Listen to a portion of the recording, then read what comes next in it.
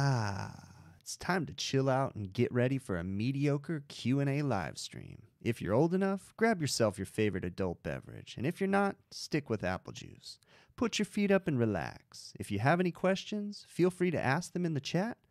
And now let's cue up the intro music.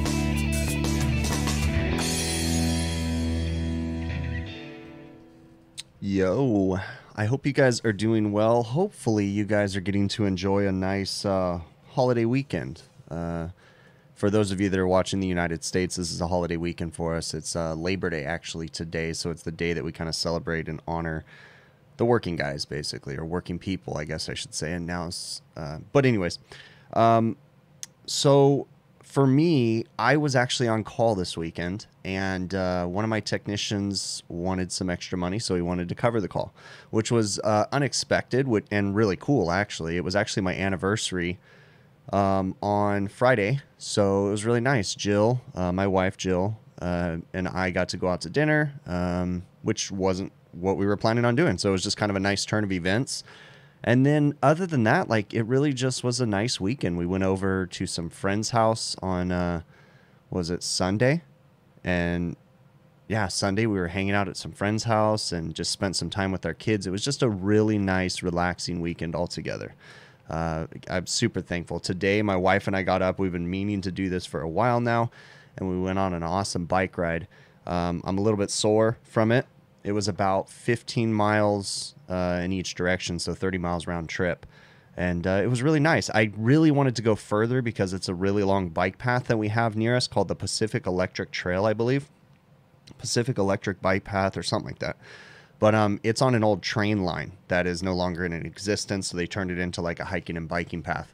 And uh, we, like I said, I've never been to the end of it, so I really wanted to, to keep going. But as the temperature started climbing, when we started the bike ride, it was about 75 degrees, and when we finished it, it was 95. And it was supposed to get hotter, so I was just kind of like, yeah, I think we should call it. And uh, it's funny because I didn't feel bad, except for sitting on a bike seat hurts, but I didn't feel too bad um, for long periods of time, I should say. But uh, now though, oh man, my lower back's killing me. But like, you know, I feel good as far as like my legs and everything. But it was just a super nice time. Uh, some cool, uh, you know, quality time to spend with my wife. Just going on a bike ride, just talking, you know, relaxing and I guess I shouldn't say relaxing, but it's important that we try to do that stuff when we can. You know, I'm not perfect. I'm and by no means am I the best husband, um, the best dad, or anything like that. But I try. You know, And when I get the opportunity, though, I like to try to, you know, do the fun stuff. Like my wife and I, we like things like that. We like riding our bikes, going out on paddle boards, doing that stuff. My kids aren't huge fans of that. You know, they will do it, but you know, they're not the the they they didn't want to come this morning basically, you know. So, but it's all good, you know, but it's nice to be able to spend some time. I think that in this trade we can we can get caught up in the idea and it was really interesting um, because there was a Facebook post someone was asking a question about getting people into the trade and getting younger people into the trade and and it was a really cool discussion between a lot of guys going back and forth just talking about the issues that we're having and it's um it's so easy to get caught up especially if you've been in the trade for a long time it's so easy to get caught up in the mentality that we used to have in the trade where you know if you were a technician, you basically, in your mind, you knew that you put work first and your family second. And for the longest time, our trade operated that way. And it still kind of does.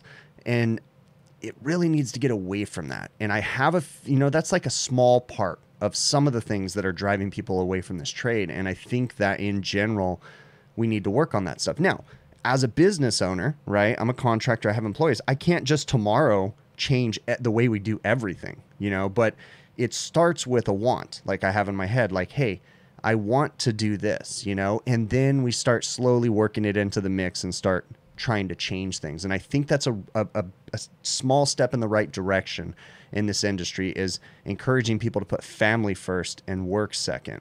Now, at the same time, there's a dilemma there and that's what we got to figure out is how do you still operate a business when your employees are sometimes going to call in sick or say no they can't make it to an emergency call so there's some things we got to figure out but i really think that is a huge thing we need to work on in this trade and you know i try as much as i can to spend time with the family um, but it gets hard i mean this has probably been one of the worst summers i've had in probably the last 10 years it's been nuts just we're so busy and it's just complex silly problems all kind of you know moving from covid covid really like put a wrench in everything and caused a lot of dirty equipment and you know you guys all see it in the videos it's just crazy so um I see super chats coming in. Uh, Pennsylvania AC Productions. Thank you so very much for that super chat. That is much appreciated. I really, really am um, thankful for that. So, um, remember, guys, if you guys have questions or things you want me to cover, uh, just put them in caps lock in the chat. It'll help me to see them keep posting them if I don't answer them. Don't be offended if I don't answer your question. Okay. If I miss your question or something, send me an email to hvacrvideos at gmail.com. Okay. And uh, yeah, we're going to go ahead and get on with it. Um, I've got some questions on my list of stuff to talk about, and then I want to get to the chat. Um, let me see what I'm missing in here. Hello to everybody that's in here. Thank you. It's it's so humbling to see people from other countries in here too. It's such a trip, guys the the emails I get from you guys, all that. I, it's it's really neat. So thank you to everybody that watches. Thank you very much. Um, you know, and I, I've said this, and I said it last time too, I believe. But you know, I I never really had a plan to turn this into what it's turned into. It just started as making videos for my employees, and then it kind of evolved into something else. And here we are now, a couple years later, and uh, it's just very humbling. So thank you very much. All right. Um, so I wanted to kind of talk about something else too that I've I've addressed on Facebook recently too. You know, and I talked about this last week. We have a new federal compliance coming in that we have to comply with. That's whatever but um, federal rules, I should say, that we have to comply with, with as far as equipment sizing and how the equipment is manufactured. Okay, um, they call it AWEF, A W E F, and that's uh, I have to look at it because it's such a silly acronym. Annual Walk-in Efficiency Factors. Okay. Think about it like a SEER rating, kind of how they have on residential. It's kind of like that. It's the infancy of that. So right now, all that they're really doing is, is setting a few criteria that the manufacturers have to follow, and they're giving uh, you an AWEF score for the unit. But as far as I can tell at the moment that I've done my research, which was a couple months ago, there really was no criteria for what score you had to meet necessarily, but as far as the manufacturers, but you just had to follow these certain criteria and try to reduce the uh, um, energy operating costs basically of your equipment. Okay, so they're trying to reduce the amount of electrical consumption unnecessarily, you know, versus what the equipment's actually performing at when they do that, so now this is a federal thing, this is going to go across the United States.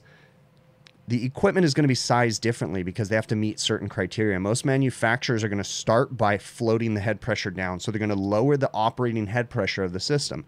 Now you ask, well, how can they do that when the operating pressures of the system are going to fluctuate based off of temperature? Okay. And that's a good point. Well, we have low ambient controls in the system, head pressure control valves, essentially, okay, that maintain head pressure when it gets really cold, okay. And then you have uh, condensers that are going to try to reject the or you know uh, reject the heat from the refrigerant, right?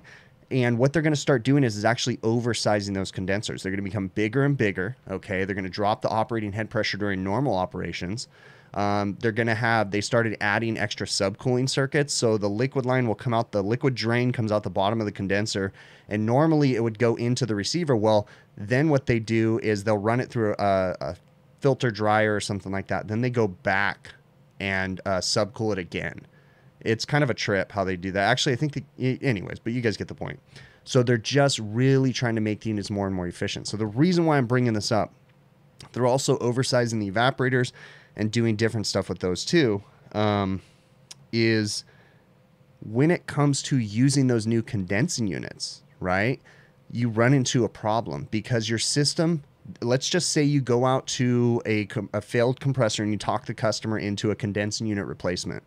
So you're just going to change the condensing unit, but still use the same evaporator, same line set, maybe change the refrigerant over, okay? Because that's a lot of the new requirements going ac- across the country too, where you have to get rid of certain refrigerants. But when you just swap out a condensing unit, that new condensing unit, if it's AWEF compliant, right, it's going to float the head pressure down and that can affect the operation of your existing expansion valve. Okay. If they're bringing that head pressure lower, um, the expansion valve may not be sized correctly anymore. So you need to be very cautious about that and understand that you know if you just try to go a new uh, throw a new condensing unit on an existing system in a cold climate this system might not work properly because they're bringing the head pressure down so low, and your system's not necessarily designed to have the head pressure that low.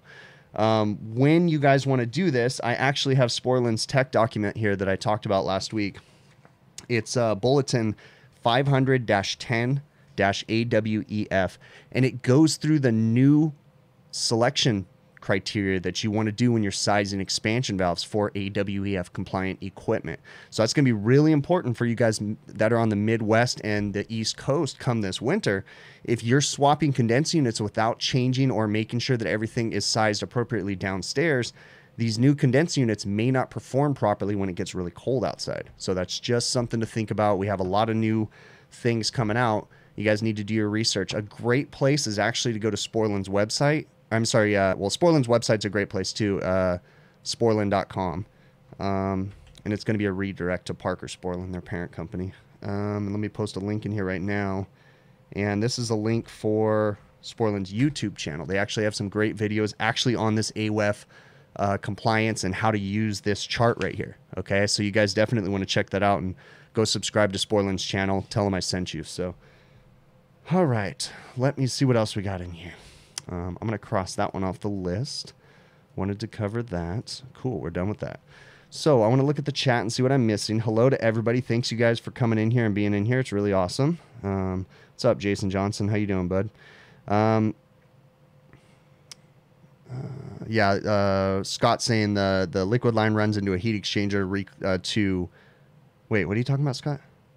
I'm confused, bud. Are you talking about when I was explaining the the extra subcooling circuit? I think I misspoke when I said, but what it actually does is it comes out of the condenser, goes into the receiver, comes out of the receiver, then goes back into the condenser, um, just to get extra subcooling, and then it goes downstairs to the expansion valve. Um, I don't know if that's what you're talking about, Scott. I kind of didn't really get context on that thing. Uh, Pennsylvania AC Productions, dude, these super chats, man. Thank you. You're you're amazing. You did this last week too, and and good. You, you don't have to do that, but thank you very much, bud. I really appreciate it. Um, let's see. Kip Stevens is asking about my thoughts on Bluon. I have nothing really to say about Bluon. Uh, good or bad. I haven't used their refrigerant. They have a really cool app. If you guys haven't used it, you should definitely check it out.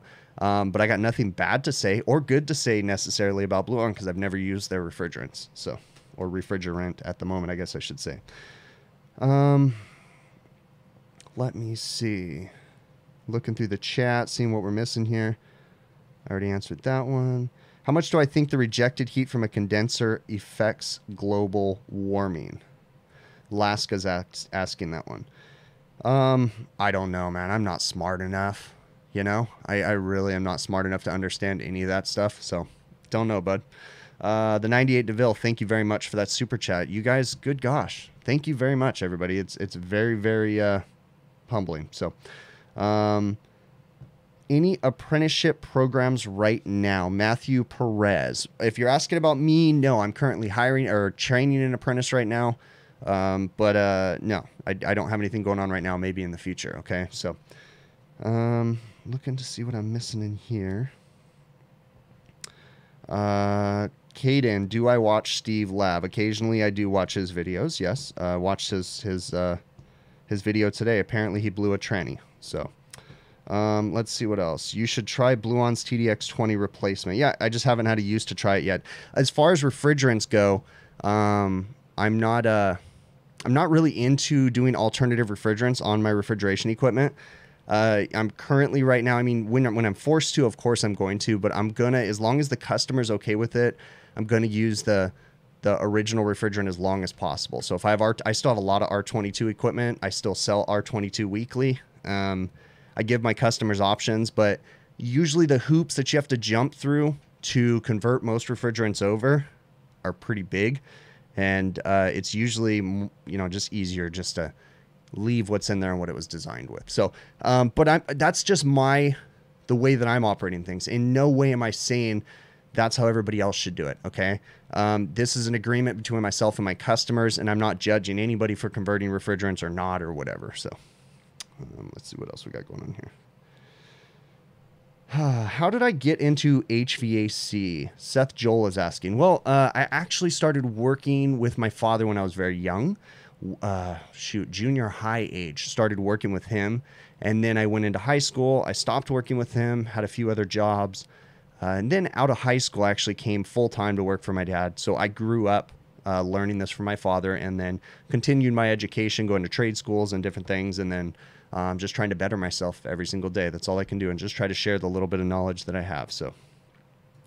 So, um, as far as a new tech, when it comes to new technicians, because I had a question come in, and basically the the the, the question is how long should a new tech uh, work at a company before he's filled. Well, I'm going to add some things to this question because I'm going to add a few other good topics to cover. So, so first off, when a new technician goes to a company, how long before he should be in a service van? That's one question. Okay.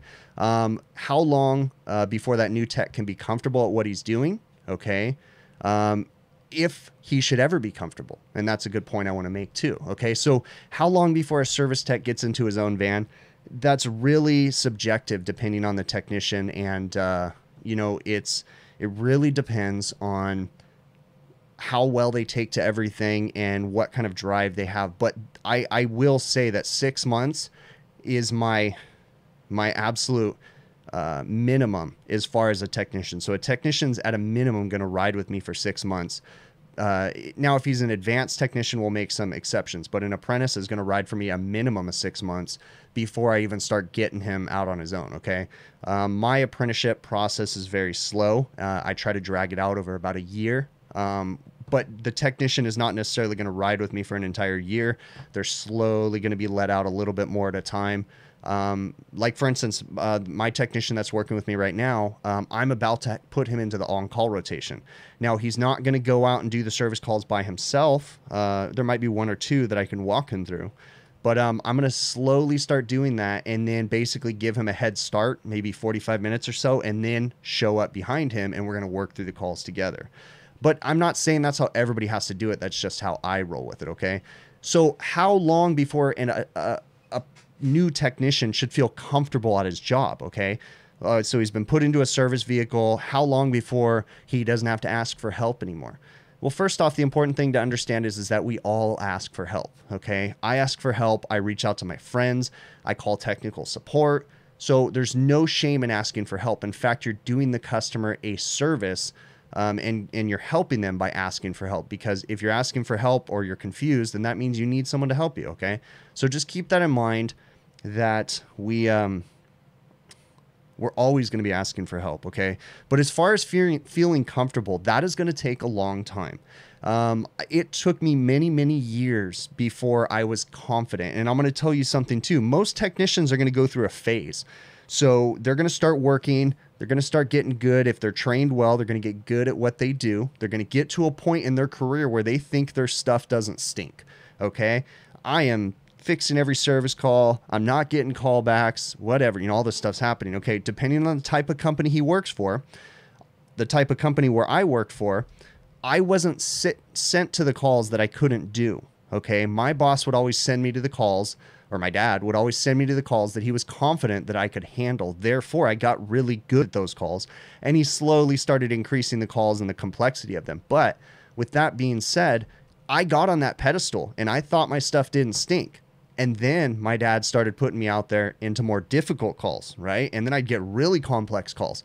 And I quickly realized that I got knocked all the way back down to the beginning. I lost my confidence again. It takes time, okay? And and you're going to get to that point and you're going to start getting more difficult calls and you're going to work your way up. Um, in in a perfect world, if you're working for the type of company that I did, okay? That's how we did things. So it's going to take time. Just understand, remember that you know your basics. Remember remember your fundamentals and work from there, okay? There's no shame in asking for help, but when you do call to ask some other technician for help or for technical support, remember something. You need to impress them, okay? You need to show to them that you know what you're doing and you're not just wasting their time calling them asking how to fix things, okay? So when you call them, give them all the information before they even ask you for it. Say, hey, look, here's what I ran into. All the things that you could possibly think they're going to ask you okay? Because when you're collecting all that information before you call them, typically you're writing down a lot of key critical things that you might even, when you write it out on paper, you're like, oh, I know what's wrong.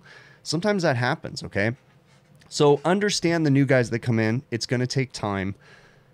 But don't be afraid to ask questions, okay? And uh, you'll get there. You'll get to that point, but it's gonna, it's honestly to take a couple years before you're truly comfortable and confident in what you're doing, okay? So just hang in there.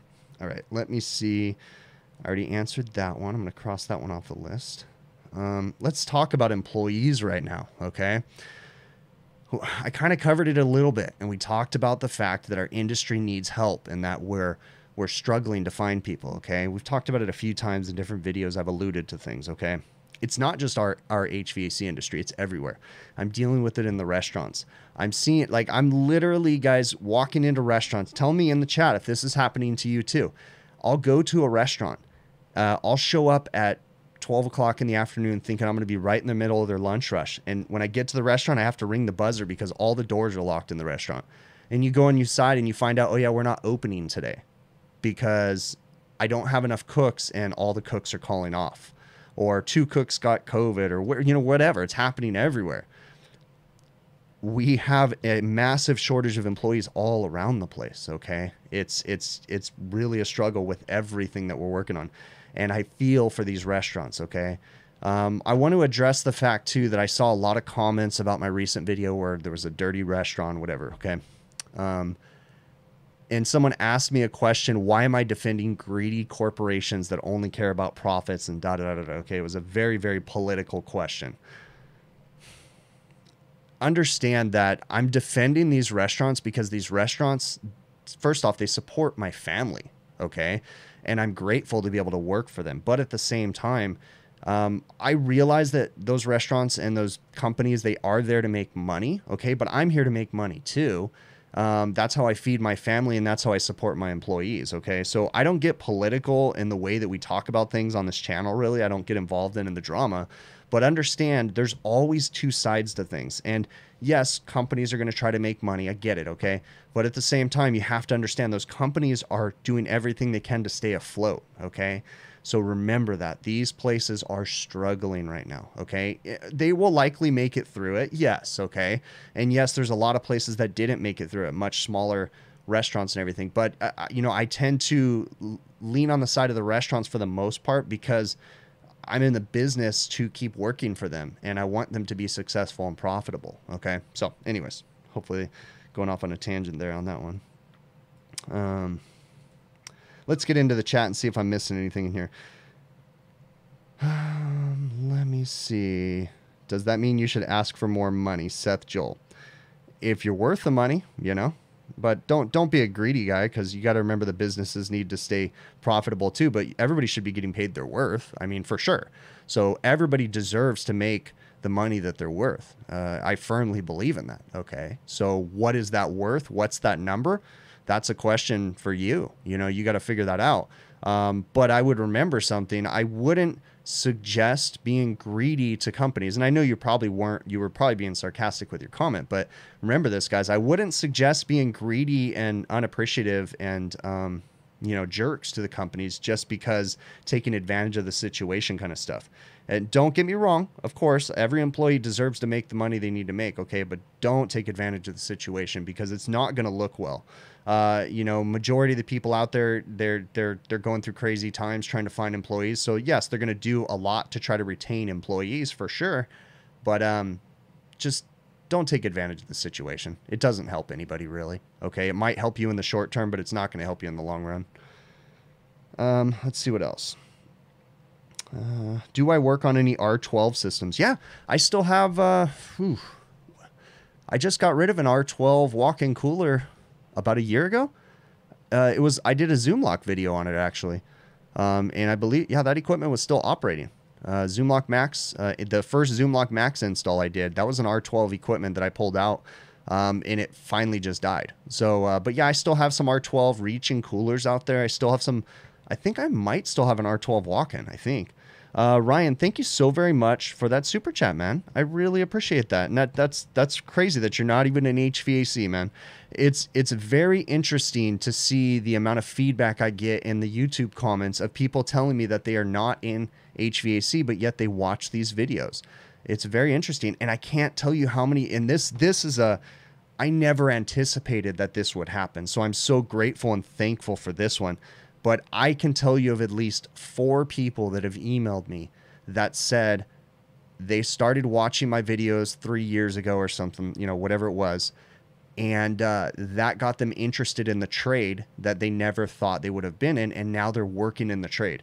One guy emailed me today saying he does supermarket refrigeration. Like, that is so amazing. Again, never expected that to happen when I started posting these videos. So that is an awesome feeling for sure to know that, you know, three, four people have joined the trade because they watched my videos. I mean, that's that's that's awesome. So all right, let's see what else we got going on in the chat. Any advice on dealing with difficult coworkers? Oh, that's an interesting one because yeah, you know, it can be hard when you work with someone that you do not get along with. Uh, many many years ago, I had to work with someone that I didn't get along with, and I let it go on for way too long. Um, and we should have just parted ways much sooner, and maybe um, we could have salvaged some things. But you know, I let something go way too far, let an employee stay way too long, and it got really nasty. And it was just like, wow, you know, it went to a place it didn't have to. Um, but with dealing with those people, you need to be honest. Uh, you need to, if you're an employee that has to work with someone, you need to report that to management. Um, you know, it may seem whiny. So, with that being said, you know, don't report stupid things that, you know, remember when there's a problem, you always look at yourself first. That's the way I do it. Always look at yourself first, reflect on you. Is it something that I'm doing? Okay, then no, whatever. Then you know it's not something you can change, right? So once you get past that point, then you need to report it to management and you need to let them know because if you let problems with other employees go on for too long, that might be a red flag in the very beginning and management might, you know, get rid of that person before they become toxic to the company or hazardous to the company. So, you know, little there's little indications majority of the time with people before they go bad. And if people tend to recognize those little weird things happening, then maybe we could eliminate problems before they become catastrophic, you know? All right, let's see. Um, but but yeah, so basically report the problems to management. That's that as much as as fast as you can. I just wanted to make sure I covered that. Uh, Midwest Tech, thank you so much for that super chat. I really appreciate it. You said probably your favorite HVAC channel. You feel like you learned so much. Oh, thank you. I it is awesome, bud. Thank you very much. That is much appreciated. So in my restaurant in my recent video there there's a real big nasty comment section about how nasty the restaurants are. Okay, and they they think the restaurants that I'm working in are absolutely disgusting. First off, I'm starting to wonder if I'm numb to it, right? Because in my head, I'm telling you guys that the stuff that I show in my videos is nothing compared to the stuff that I have stopped working for. Because I've seen some crazy things out there, and you would be surprised with what some of these really bad restaurants, which I'm telling you guys, I don't work in any of the really bad restaurants, okay? But you would be surprised with what these restaurants can get away with when it comes to the health department, okay? Because we have health inspections. It's a government agency here in the United States. They go through our restaurants on a regular basis. Um, they they typically, I will say though, they're typically not random visits, okay? They only do random visits if there's been health violations reported, then they'll do random visits to follow up on situations. But for the most part, our health department, every restaurant knows when they're going to come. Okay. And uh, while I want my restaurants to be, you know, not have to have deal with hassles, if the health department just came in unexpectedly, whenever they wanted on a that would actually put these restaurants on their toes and they would be on top of more stuff okay so in my recent video, uh, I showed the reach-ins that were really dirty. I'm going to tell you guys that I still stand behind the restaurant on that one. There's really no way for them to clean those units out. If you ever see how some of these refrigerators come apart and how complex they are, it is absolutely ridiculous. So I think my restaurant's doing something incorrect by buying this equipment, but um yeah, it blows my mind because most of this stuff is so nearly impossible for the restaurants to clean. It's just a struggle. Um, and as far as, you know, why don't they teach the cooks properly how to do that stuff? Because there's too much liability in having your cooks deal with that kind of stuff. Um, they've tried it in all my restaurants where the cooks are responsible for cleaning at night. And what do they do? One of the most common repairs we have on units that should be under warranty, right? They should be under full manufacturer's warranty. But the most common failure to those units is water damage because the cooks are washing the floors incorrectly. Should they be hiring professional companies? Sure, but there's not enough professional companies out there to clean every single restaurant. Majority of the professional companies out there, they just hire minimum wage workers to come in and they'll do it at nighttime and we still see the high failure rate on these units. It's sad, okay? Of course, you know, you pay people more, maybe they'll do better and stuff, but you know, these restaurants are doing everything they can, okay? And I shouldn't say everything. They're, these restaurants are trying very hard, okay? There's certainly things they could do to improve it, okay? But I will still stand behind them, okay? I've seen some nasty stuff and if, you know, it's trust me, I'm not working in the nastiest of the nasty. So um, I saw a, couple super chats come through. HVAC rookie Scott, thank you so much. I really, really appreciate it, man. Um, and Android man, uh, again, thanks for that super chat, man. Uh, you're commercial laundry tech, and you watch my videos because I troubleshoot with Logic. That's really cool, bud. Um, it's very interesting too because I never really thought about the way that I do things, and uh, honestly, for the longest time, I, I, I still want to argue that a lot of people can think logically. Okay, I know some people don't. They, I feel like they don't choose to think logically, but um, it's hard for me to think that that the way that I troubleshoot things is special. I it just seems, and and maybe I'm ignorant to this, but it just seems like everybody, you know, can troubleshoot the way that I troubleshoot, or maybe everybody has the ability to, but they don't choose to use those tools. I don't know. That's an interesting. That's an interesting question. You know, I, I but I don't see anything special. So, anyways, it's very nice that you said that though. So, thank you. Um, let me see what else we got in here. Pennsylvania AC Productions. This is awesome. No, man, you see, you're super chat, bud. That is amazing. You said that you're super chatting because I you are my biggest fan. No, it, that that is it's cool, bud. Uh, thank you very much, man. No, you can yeah, trust me, you can super chat away. no, but th- that is very humbling, bud. I mean, uh, you don't necessarily have to do that though. Okay, thank you. I really appreciate it, man. All right, let's see what else. Um, let's see. Uh, Carlos Nin, you said you've been watching for over a year and you start on Friday classes to get your Florida HVACB license. Right on, bud. Congratulations. Uh, this trade is awesome, bud. So, um, could my hum- could my company handle large walk-ins like Costco? John Deere fan. No, I am not capable of working on parallel rack systems, which is what majority of Costco and Sam's Club and all the supermarkets and big department stores that now added grocery stores, they typically run off of parallel rack systems. Um, I haven't the slightest idea on how to work. Well, I actually have an idea on how to work on that stuff. I think I could probably break a few things and figure it out. Um, but uh, no, I am not qualified to work on large commercial refrigeration equipment. Just light commercial refrigeration is all I do. Um, let's see. Uh, thank you very much, Seth Joel. He said he loves my passion for HVACR. That's awesome, man. You, you everybody, this is awesome. Okay, so um, I already answered that question. I'm gonna look at my list right now. Let me, okay, let me hit. Um, let me answer this one. I already answered that one. That's cool.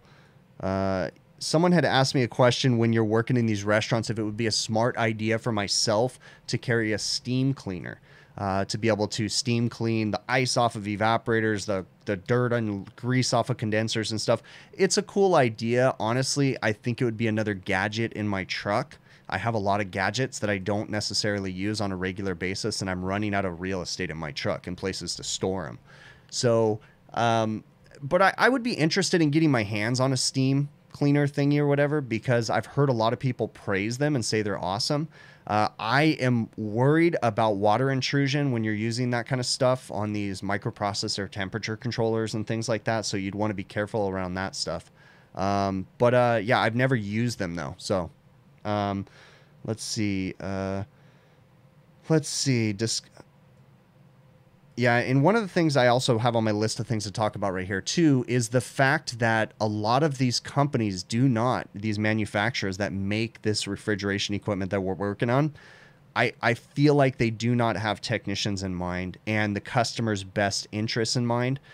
But to be fair to the manufacturers, when the customers demand lower price consistently, and we the consumer do that everywhere, we gripe and we gripe because have you guys noticed something? You know, the company Amazon came out many years ago, right? They were selling uh, uh, what is it, books? They were yeah, they were just selling books or something like that, and then they worked their way into selling everything, right? And remember when Amazon Prime first came out, though, they actually had the lowest prices everywhere. Their prices were the lowest of the lowest, right? They basically put mom and pop businesses out of business, and you know big box retail's kind of struggling because of it too. But if you if you go and you look, what you'll notice is that Amazon's prices have gone up significantly higher and oftentimes you can actually find things cheaper outside of Amazon now, okay? So it's the game that they're playing. And when these manufacturers, when I'm getting back to the point I was trying to make, the manufacturers when they design this equipment, it's it's the cheapest crap in the world, okay? And there's no thought in mind for technicians that have to work on it. And that puts us in a bind because then when we have to work on it, we look like an idiot because we told them this thing's a bad design or whatever that is, okay? But we're doing that. We're driving those prices down because we're demanding less, you know, cheaper, cheaper, cheaper all the time. And these manufacturers, so I, in a way, I'm defending the manufacturer, but then I'm chastising them, right? I'm defending them because you know, they're making what the consumer wants. They want cheaper, we're going to give it to them cheaper. Okay, so they don't build with quality. At the same time, you know, that's better for these manufacturers. But yeah, anyways, tangent as usual. Okay. Um, I kind of feel like, as weird as it sounds, I wish that as HVAC technicians, there'd be a way. It's not logical that this could ever really work, but I wish there's a way where technicians and companies can come together and stand strong and enforce some of these things. Like we don't want to have to deal with this stuff anymore. But that that's a whole nother issue right there. Um, let me see what I got going on in the chat right now. Uh, let's see. Uh, see uh, Ernesto Tito Vlogs is talking to Bill, but he brought up AHR in Vegas. Uh, if you guys don't already know, we have a giant industry convention for HVACR. So all the manufacturers of all that equipment, heck, even the manufacturers that sell to the manufacturers. You'll have guys there that are making screws and bolts, and then you'll have giant companies, manufacturers making air conditioning, refrigeration equipment. It's crazy, and they set up this giant showroom um, and uh, it travels all around the country. So this year, the AHR Expo is going to be in Las Vegas, Nevada. For us Southern California guys, for most of us, that's only three, four hour drive. So uh, it's going to be a big event for the West Coast for sure. And we're going to have a lot of people coming from the East Coast and the Midwest too. Um, if you guys don't know about it, it's something you definitely want to check out is the AHR Expo. So it'll be the AHR 2022 Expo. And uh, I do plan on being there. I'm going to do everything I can to make it out there for sure. So it's going to be an awesome, and I'll be spending time at the Sporlan booth too. Um, let's see what else we got in here. What am I missing? Um, question: Why not install open door alarms on walk-in doors like modern home fridges? Okay, so that is one of the most common questions I got with my video where I had a frustrating walk-in freezer call. I think was the title of it. So why don't I install alarms? Why don't I install switches that turn off the refrigeration equipment uh, when the doors open, different things like that. And it really comes down to the customer not wanting that stuff. Okay. Um, now, as things get worse and worse, when these corporations are realizing that they're having employee problems, I kind of think they might start wanting to go that direction to having us install remote monitoring kind of stuff and door alarms and you know door switches and different things. But at the moment, right now, the customers are not in that frame of mind. Um, there is stuff out there that you can do when customers will consistently leave doors open, um, you know, but uh, it's just really what the customer doesn't or does want. Okay. And I found restaurants where they've approved me to go install door alarms and things. And I'll go back there like a month later and the cooks just take duct tape and put it over the door alarms. And managers don't seem to notice. So it's like, well, then why did they have me put that door alarm in? They're just going to cover it with duct tape, you know? Um, all right. So I had a question come in and uh, this is a long question, but I want to read this because there's some interesting points that he's making in here, and I'm going to cover it. Okay. So um, this person emailed me and they said they work in a hotel that has water source heat pumps in every room, and some have suction line dryers. They all have reversing valves. Uh, and he says he has the most unusual data that he's ever seen in that whenever the the refrigerant leaves the suction line filter dryer and or the uh, the the reversing valve, he says that he's constantly seeing pressure drops. Okay, to the point that he can feel the pressure drop coming out of the lines, and he's kind of curious about that. Okay, so in your situation, you those pressure drops are not good in a system. Okay, there's really only two places in the system that you're going to see a pressure drop and it's supposed to be there okay?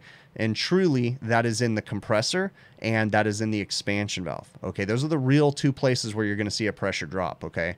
Or a pressure rise really a significant one like that. Um, other ones you're going to see a noticeable rise maybe in the condenser or the evaporator but nothing like what you'd see in an expansion valve and a compressor or condensing unit.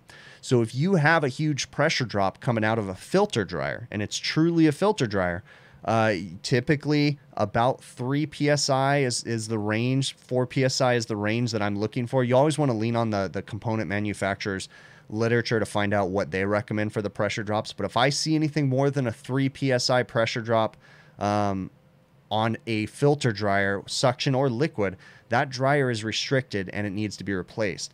But a point that I want to make in this situation um, same thing goes with the reversing valve. There shouldn't be a pressure drop across the reversing valve. I question whether or not you're truly reading a pressure drop or if you're incorrect on your information. But if you do truly have a pressure drop across a reversing valve, that reversing valve's not working right, and uh, it's going to be a, a big problem. Okay, so you want to address these issues. If you're seeing pressure drop, then that's going to affect your operation. And essentially, pressure drop across a dryer is going to lead to a failed compressor, is what it's going to lead to. Okay. Um, if it runs long enough. So you want to eliminate that problem before it becomes catastrophic for sure. Okay. So.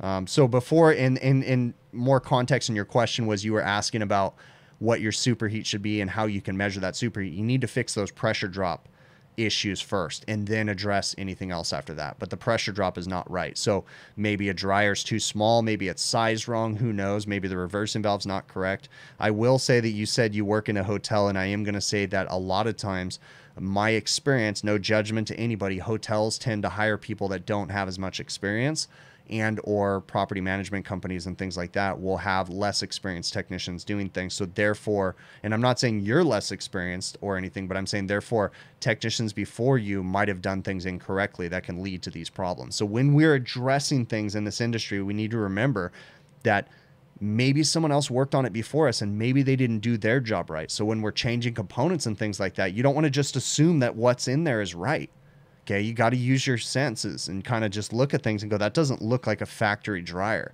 but this thing's supposed to be brand new, and I'm the third company on it, and nobody could figure out what's wrong with it, and everybody's changed parts. You know, I mean, it leads to those things. So always investigate your equipment to make sure the first person before you actually did their job right and didn't create a bigger problem for you to try to figure out. Uh, let's see what else. Um, what do we got in here? What am I missing?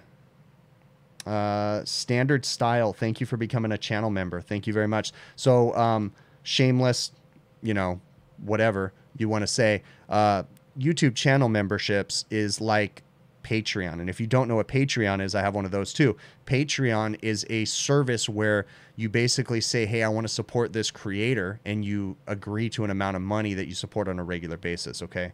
So, YouTube channel memberships, which is what Standard Style just did, um, he essentially became a member and just you know whatever amount he decided he contributes that on a monthly level to help support the channel um, all right um, have I seen a terminal blowout happen in front of me? No. He's talking about a terminal blowing out from the compressor terminals in front of my face. No, I've seen videos on social media, but I've currently not seen that. Um, Chris Young. Oh, dude, Chris Young. You know what? I've been waiting for you this whole time, bro. Thank you so very much. It, you, uh, your arrival, you are absolutely correct in your comment. No, I'm just messing with you, bro. All right. Um, my thoughts on more females entering the trade. Um, Rita Loy, thank you very much for becoming a channel supporter. That is awesome. Uh, I definitely think females in the trade are a good thing, but I do have one one worry about it. Okay, being that the HVAC trade has been dominated by men for so very long, uh, there's a lot of of tradition and different stuff that happens in the trade, and I want and need females to come help in this trade, but I worry that um, you know, it it's going to be hard and there's going to be you know bad stuff that happens as far as harassment and things like that. So uh, while i fully want females and need females to come into the trade because we need the help i just fear for them uh, for harassment and things like that okay? Um, and maybe that's just the father in me because i'm a father of two daughters and i'm very like oh man, I don't want them to be in the situation where they're not potentially subjected to something that they don't need to be around, you know? Um, but there's nothing wrong with having females. I think they can pull their weight. I think they can do everything that that I can do in this trade for sure. Okay. Um, of course, you might have, uh, you know, a female lady that can't lift as much weight as me, but you might also have another dude that can't lift as much weight as me. So, I mean, you know, it's all things that we're going to have to work with and uh, I think more females coming into the trade is an answer to our problem for sure. We need, and we need younger blood coming into the trade. But yeah, we need it for sure. Um, and think about it too. If you think about females in the trade, think about how many restaurants you go to if you do restaurant work or or businesses or retail environments that you go to where females are running the restaurants or the the stores or whatever their managers you know or the person that the technician's going to interact with is a female. So i'm not saying that it should always be female to female interaction but i'm saying that it, that's definitely going to help the trade and make some people feel more comfortable too if that makes sense. I don't know. All right um i did have a question or a, a viewer that was watching or commented on a youtube video right? And they had a really interesting comment. I'm not going to say what their name was or anything because I don't want to give them that attention. But the comment that they left was a negative comment, and it said they were referring to a video that I had worked on uh, where I worked on a walk-in freezer. It was a late night walk-in freezer call a couple weeks ago, and I went out there and I finished the call, and it was a bad transformer. Okay. And uh, when I was working on the system, I said, you know what, the system seems like it's operating properly. It dropped in temperature. Um, it's got a clear sight glass, so I decided not to put my service gauges on that system. Okay. Now, this person is commenting on that video and that decision that I made.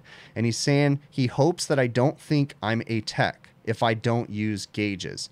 He's, and he says it sounds like I'm guessing because I didn't put service gauges on that system. So his question was kind of written a little in bad grammar or whatever, anyways. But, anyways, he's criticizing me for not putting my gauges on a system. Um, no, uh, you know, given the opportunity or given the the you don't want to have to put service gauges on everything every single system out there okay you, you should not immediately gauge up until you've checked a few other things uh, if I don't have to access a system, that's less potential contamination for that system. Every time one of us technicians accesses a system. We either vent refrigerant into the atmosphere because of a de minimis loss, right? Or we add contaminants to the system of some sort because we didn't purge our gauges and we didn't follow these proper procedures. Okay, so if we can minimize the amount of de minimis refrigerant being released into the atmosphere, that's a good thing. Okay, if we can minimize the amount of times we potentially contaminate a customer system just because we wanted to see a number, um, we're going to create problems, right? And if we can reduce that stuff, that's a better thing. Now, it's a fine line though, because I didn't put my gauges on that system. I took a chance because had I put gauges, yes, I would have confirmed everything else was working properly. But I used my senses and I said, hey, this thing dropped significantly. I'm not seeing any funny, funny frost patterns. The expansion valve uh, refrigerant feed looked pretty good. The sight glass was clear. I used my senses and I thought of the system operation and I said, you know what? This thing doesn't necessarily need me to put my service gauges on it. And I didn't. And it has now been three weeks or something like that, or something. I don't know. It's been a couple weeks since that service call. Okay. Um, I'm not saying that that means that everything's fine, but there's times that we take that kind of uh, educated guesses, I guess, you know, um, is what I was, what I'm trying to say. So, yeah, but I'm going to try not to put my gauges on as many systems out there as possible. That's just how I'm going to continue to do my career. Uh, what did we see here? Have I worked on screw compressors? No, I've never worked on those before. So, um, do my daughters want to go into the trade? No, I've asked them several times if they were interested in coming to work with me, even coming to work with me for the day. They want absolutely nothing to do with it. But I will say that one of my daughters is a very uh, science-minded person, and whenever I can explain in in you know small detail the science behind this industry. She, she is intrigued. Um, you know, she stepped outside one day when I was, uh, I grabbed a, uh, my torch. I was doing some work out in my yard and I, I turned on my torch and I, I, started brazing on a condenser that I had in my backyard. And my daughter was really interested. She's, she was really interested in the process of the metal melting and, and the science behind that. Um, but I just don't think that she'll be in the trade. Uh, I'm not going to push my daughters in any direction that they don't want to go into. So, um, of course, I want my daughters to be highly educated and all that stuff. But I mean, if they don't want to go that route, then I'm not going to push them into that. And, uh, you know, I don't want to push them into a trade that they don't want or away from it. You know, I'm going to let them make those decisions.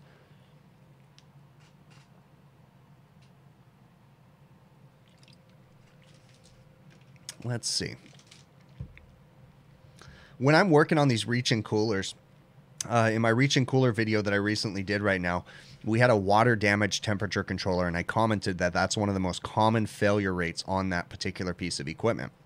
So a lot, I mean, probably hundred, at least a hundred comments on that video where why didn't I come up with a solution to waterproof that temperature controller so that way the problem could not ever happen again. Okay. Um, when this particular manufacturer first started selling this line of refrigeration equipment, I did a bunch of warranty work for them in the very beginning. And I saw some things right off the bat. I was like, one of their most common failure rate things is failed compressors. And I'm gonna say it on here because I've I've tried to tell them this stuff. I've called the manufacturer and everything, but they have these failed compressors on these units, okay? They have a Danfoss compressor on it that has steel tube terminals on it, right? And then it's copper coated. And what they do is the suction line comes down and then comes right back up and there's a slight trap to the suction line before it goes into the compressor.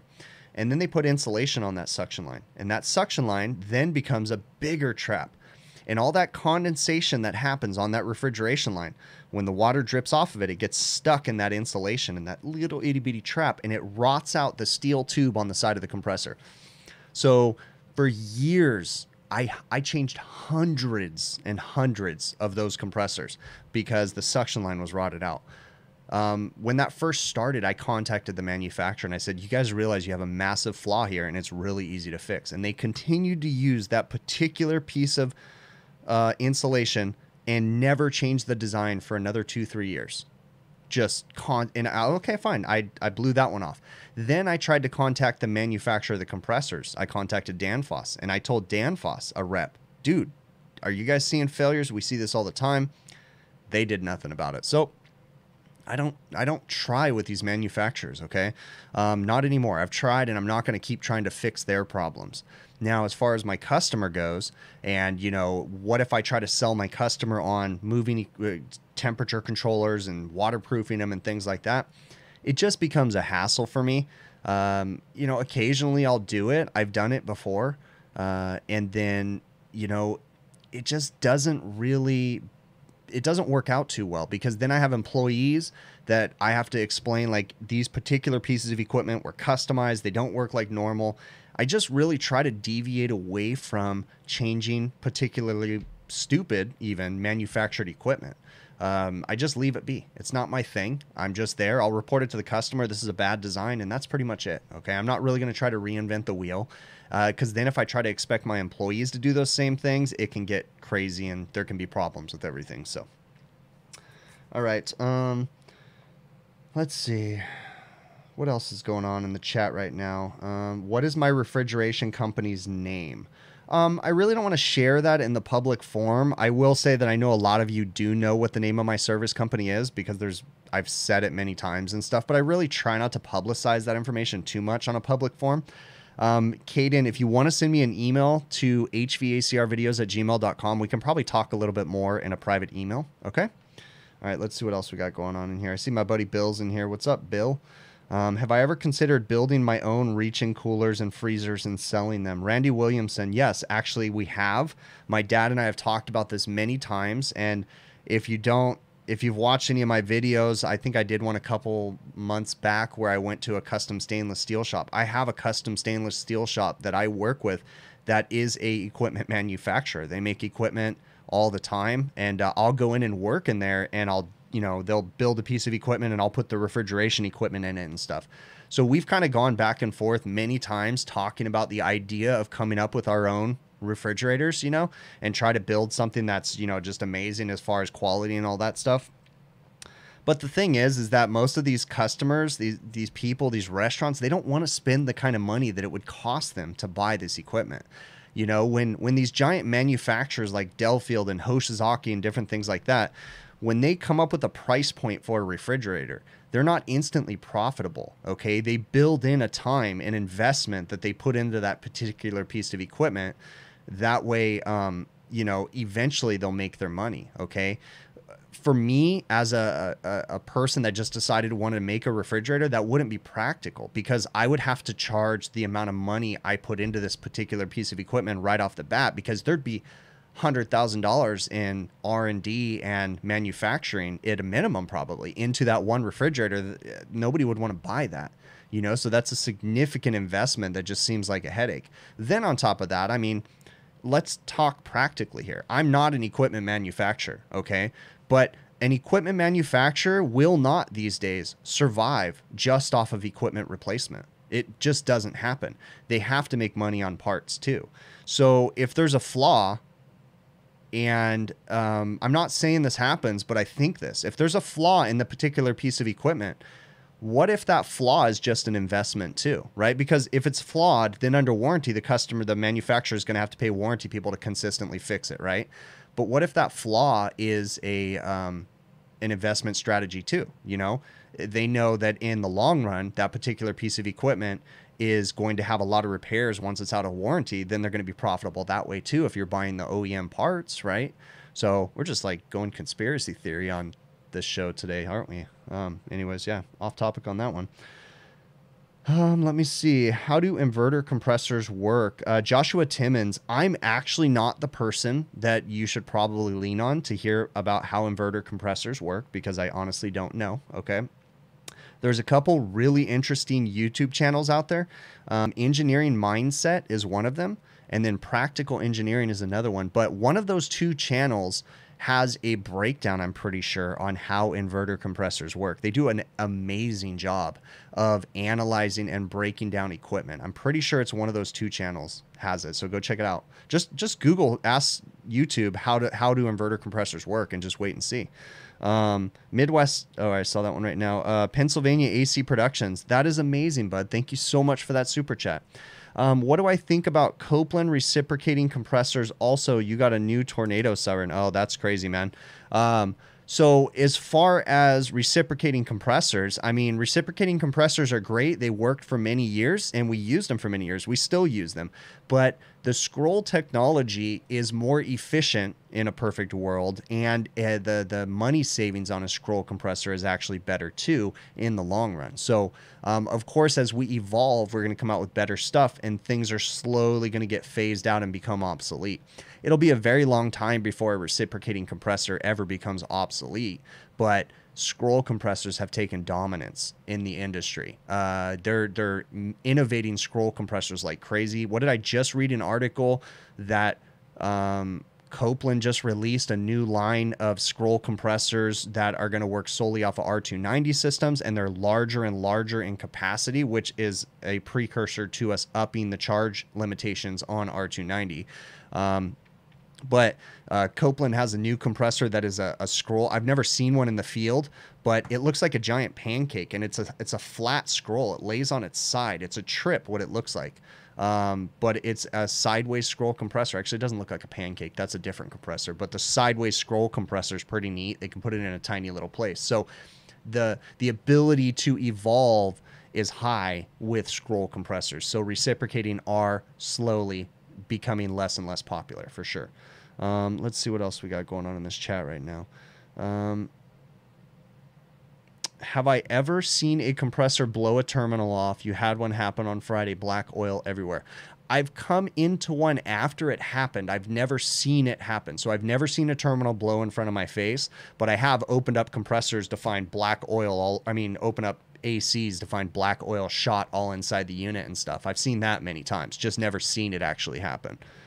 Um, let me see what else I got in this list. Um, I already covered that one. Um, as far as that goes, with the customers, you know, when it comes to these walk-in freezers, my recent video where I had a walk-in freezer that kept, they kept leaving the door open, right? Um, why aren't these customers installing strip curtains in every one of their walk-ins? Okay, why don't they have strip curtains on every single freezer? Um, what the restaurants, a lot of my restaurants used to let me sell them strip curtains all the time. Okay. And what they realized was in the long run, they don't really save them any more money as far as energy savings and stuff or, or, the, the initial expense of strip curtains is just too much. Okay. I guess in a way they would save them money in the long run, but um, they basically rip them off, they tear them, they break them as much as possible. Most of the employees, when they walk inside the box, the strip curtains are annoying, so they just fold them and like put them up on the shelf and put boxes on them and stuff. And then the customer, it's just a nightmare. So they just did away with most restaurants doing strip curtains um, simply because of the cost. It was just too much for them. So my customers don't want them. I can't make them take something, you know. Um, see. All right, cool. We're good with that. Let me get to my chat right now and see what I'm missing in the chat. Uh, let's see. If you guys haven't already, smash the thumbs up button. It definitely helps out the stream. You guys would be awesome if you did that. Can a bad compressor can a bad compressor cause high discharge pressure? I mean, I'm never going to say never, but that wouldn't be a common failure, okay, for a compressor to have high discharge pressure. Because if you think about it, um, the suction pressure and the discharge pressure are relative. They, they basically, if one changes, the other one changes because they're dependent on each other. In a reciprocating compressor, you're you're you're dealing with a piston forcing you know refrigerant in that essence right up, and but it has to come from somewhere. So for there to be a compressor that is bad because it has high discharge pressure, that's an odd failure. Okay, now, to have a compressor that failed because someone, I mean, that's why I'm saying, I'm not going to say never are you going to see that, but to have that failure, that seems like an odd failure. Okay. Typically, if there was a valve failure, which is a high, a weak point in a compressor is the valve system, right? The reeds or whatever. If one of those failed on the suction side, you would typically have uh, a lower than normal head pressure. Okay. So, um, to see a compressor fail in a high head pressure state is a very odd failure, I would imagine. Okay. And I would imagine it's probably because someone pinched a discharge line or there was some sort of restriction that was allowing the pressure to get up really high, then it killed the compressor. Um, but I don't think you're going to see a compressor that fails simply because of that. Um, have I watched a compressor go bad? No, I have not. Have I heard tornado sirens? No, I have not heard tornado sirens, but I am um, infatuated with tornadoes. Uh, they're a very interesting and very um, they're I know they're so destructive, and most of the time they can be horrible. But there's a weird beauty to them in a weird way. I, I think it's just like the nature aspect of it. Um, and I've always been intrigued by tornadoes. Okay, but again, uh, you know, no, I don't want anybody to be hurt or, you know, misplaced or whatever because of a tornado. No, definitely, that's a horrible thing. Um, let's see what else we have in here. What's with everyone wanting compressors to fail in such extravagant ways? I know, I don't know what it is either, but let's see. Uh, what kind of compressors do I fix? I typically work on, well, I will work on either reciprocating or scroll compressors. Um, let me see what else we got in here. Uh, what is the compressor rated for in voltage or the unit? Oh, he's asking someone else. Okay, gotcha. Um, let me see what I'm missing in the chat. Answered that question. Um, let's see. If you guys have any more questions, let's post them in the chat because I am out of topics. So I'll give you guys a few more minutes, see if anything else pops up in here. Um, let's see. What else we got going on here? What did I think about R32? R32 is just another refrigerant. It's a um, uh, what do they call it? A A2L refrigerant. Okay, so it's a mildly flammable refrigerant. So it'll be our first real introduction into R32 that's not mixed with anything else. But shh, don't tell anybody. We've all been working with R32 for many years now, okay? Because it's in another refrigerant that we use almost every single day. But don't tell everybody because we don't want to make them feel silly, all right? So, um, but R32 is not, it's just another refrigerant, guys. There's just some things you need to, to, follow when you're working with them, right? I work with R290 refrigerant. You need to respect it. And if you respect it and you follow the safety procedures, you're going to be just fine. Okay. All is going to be well. Um, would I recommend Navac? You know, a lot of people swear by the Navac vacuum pumps, recovery machines, um, swage tools. I've heard like a lot of good stuff about Navac. Okay. So I would encourage you to check their stuff out. I, I have no affiliation with them or anything, but I mean, there's some stuff that they make that is really nice. Uh, I'm a fan of the Fieldpiece vacuum pumps, right? Um, and uh, little secret, again, don't tell anybody. Navac's parent company actually makes majority of the vacuum pumps for majority of the manufacturers. Okay, so that's an interesting concept to think about, right? Navac, the, their parent company, just decided to start the Navac brand as a venture. They've been a manufacturer for years and years, but they just got into the um, distributing their own products basically is what they just recently got into. So they've had a lot of years to perfect their equipment, and a lot of people like them. So, um, uh, not Kai had brought a point up in a email to me, and uh, he wanted to know my opinion about this. Dave Johnson, holy moly, bud! Thank you so much for that super chat. That is amazing, Dave.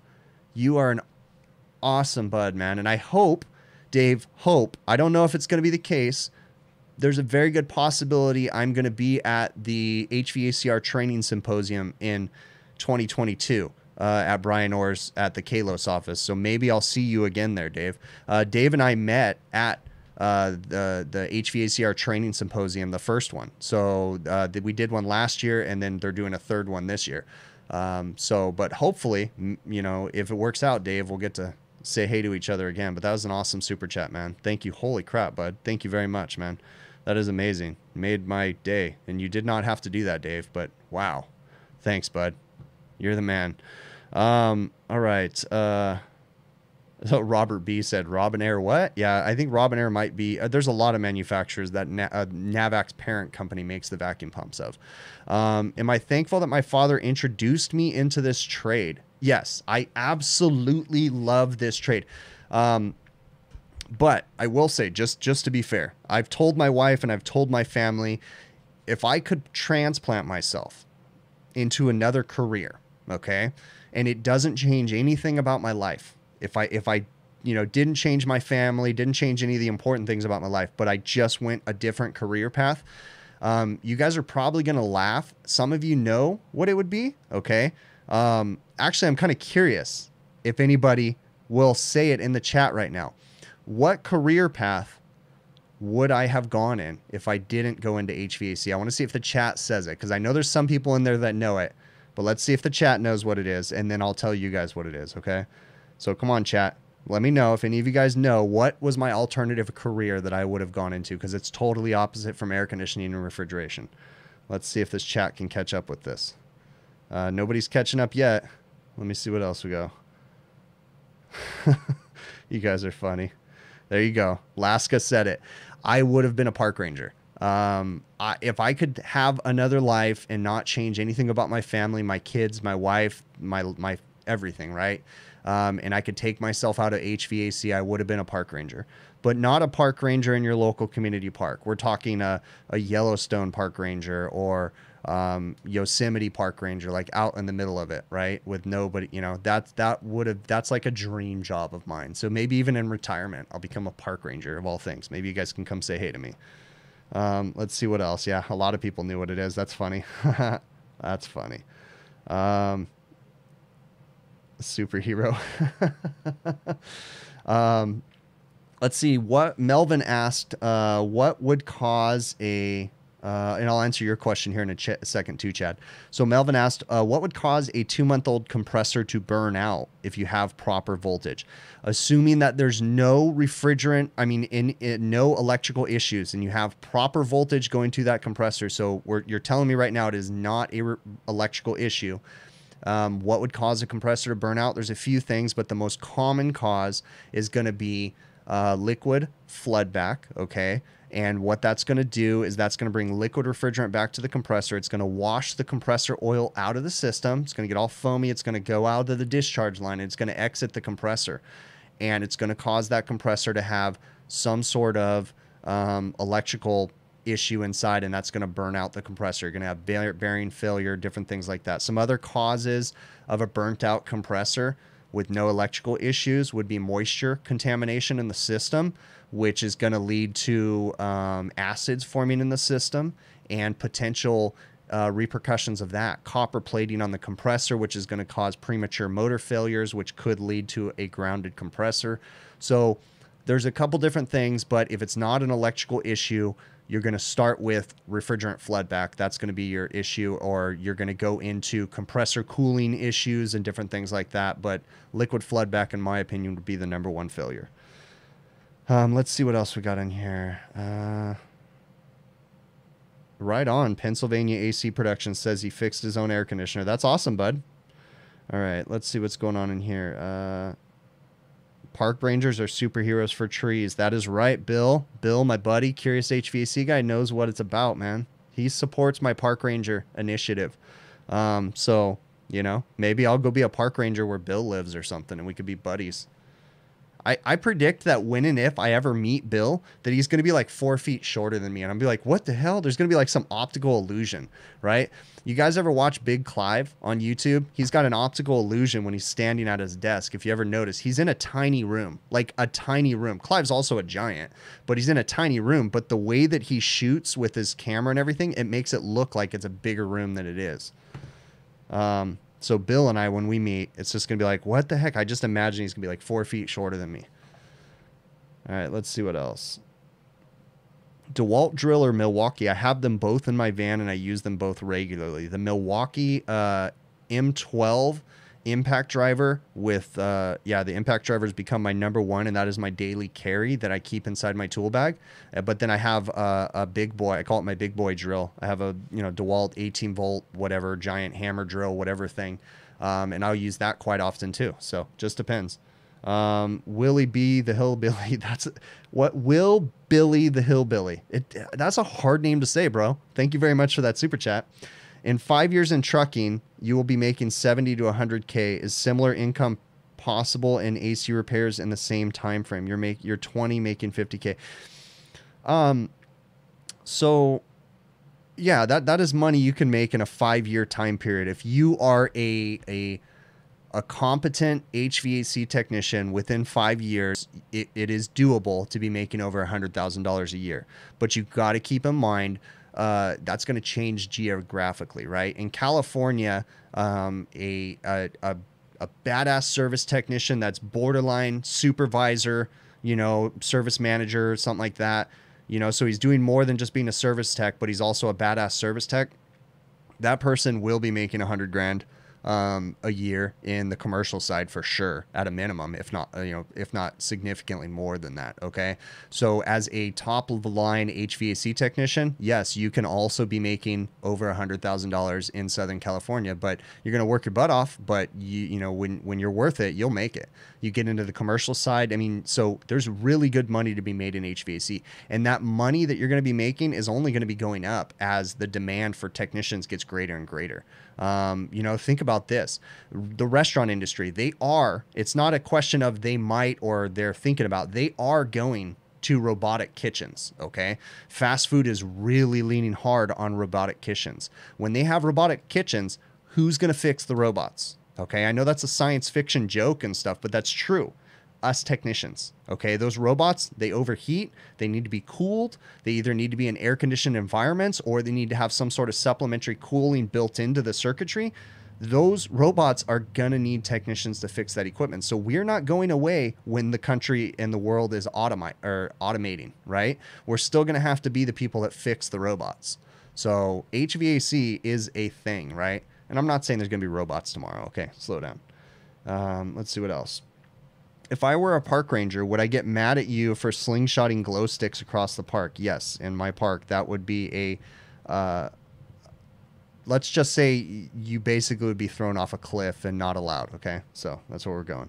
Um, all right, guys, it is time for me to wrap this up. I really, really appreciate you guys making it to the stream. Uh, as usual, definitely check us out on the HVAC Overtime YouTube channel. Um, we go live Monday or uh, Friday evenings about 6:05 p.m. Pacific. Okay, and we usually hang out and stuff. Um, let me see if I can transition this over right here and right here. And I'm going to go ahead and cue up the outro music. And I really, really appreciate you guys making it in here. Okay. If I missed any of your guys' questions, feel free to send me an email to hvacrvideos at gmail.com.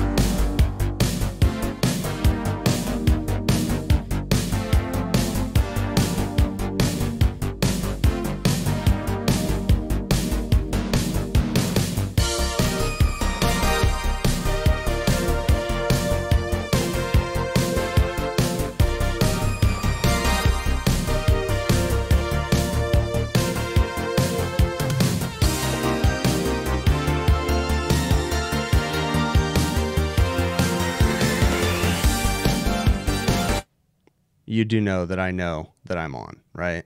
And I still don't understand why you guys are still here.